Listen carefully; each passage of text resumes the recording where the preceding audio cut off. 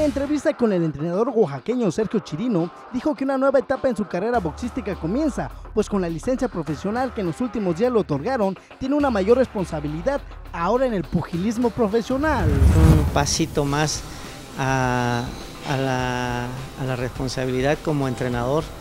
Eh, parece que no hubiera una diferencia, pero sí lo hay porque el amateur es un deporte de contacto eh, y el boxeo profesional es de golpeo más contundente, el vendaje, la preparación, porque los rounds ya son de 4, 5, 6, 8, 10 y 12 rounds.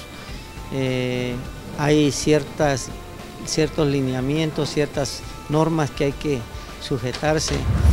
Asimismo, el entrenador profesional dijo que ya se acerca a la Olimpiada Nacional y será la última vez en la que participe su hijo, el boxeador Sergio Chirino, pues para el próximo año rebasaría la edad, por ello, de la mano con el pugilista, van a saltar al ámbito profesional.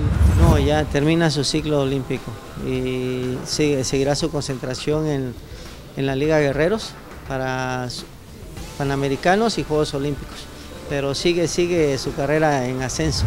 Por último, hizo la invitación a los jóvenes que practican el boxeo y que quieran entrar al profesional que se acerquen, pues su carrera como boxeador continúa.